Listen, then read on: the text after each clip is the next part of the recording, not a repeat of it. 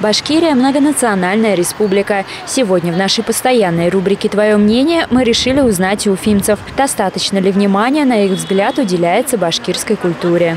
Мне кажется, что недостаточно выделяется внимание. Надо, конечно, побольше. Вот, особенно после Шосбрикса, я так думаю. Такое большое мероприятие у нас произошло. Все так, это все хорошо организовано, все это нормально. Мне кажется, все равно маловато. Ну, язык, конечно, обязательно, девочки, язык обязательно.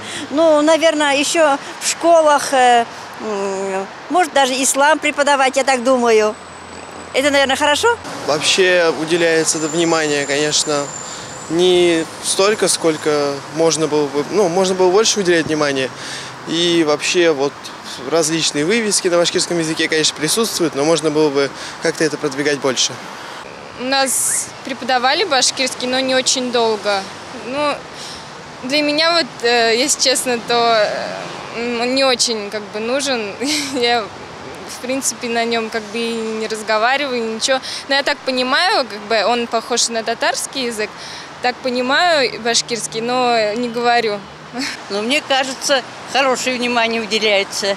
Видно, что вот очень народное творчество любят, развивается. И вот молодежь к этому стремится, да? Много ведь сейчас вот молодежи. Ну, кураи играют, тоже поступает вот на национальное какое-то отделение, да, музыкальное вот если.